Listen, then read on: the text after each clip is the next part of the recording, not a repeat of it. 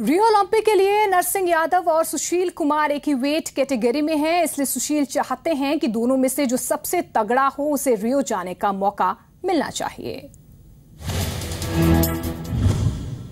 Rio Olympic के दिन जैसे जैसे नज़दीक आ रहे हैं, खिलाड़ी भी पसीना बहाने की रफ्तार बढ़ा रहे हैं। देश के पहलवानों की बात करें तो सुशील और योगेश्वर पूरे जी जान से प्रैक्टिस में जुटे हैं।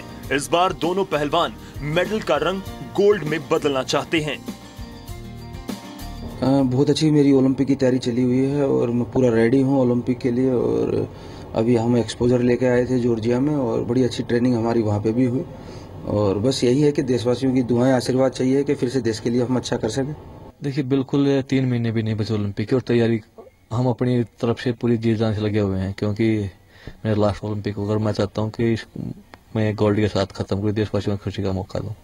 और इस बार भी यही है कि मैं अपना हंड्रेड परसेंट दूँ देश के लिए गोल्ड जीतूं देशवासियों को खुशी का मौका दूँ हालाँकि सुशील कुमार की रियो दावेदारी को लेकर असमंजस बरकरार है क्योंकि उनकी कैटेगरी में ही नरसिंह यादव क्वालिफाई कर चुके हैं जिस पर सुशील कुमार बड़ी साफ़ गोई से जवाब दे रहे हैं। वहीं योगेश्वर भी दोनों का दावा मज़बूत बता रहे हैं।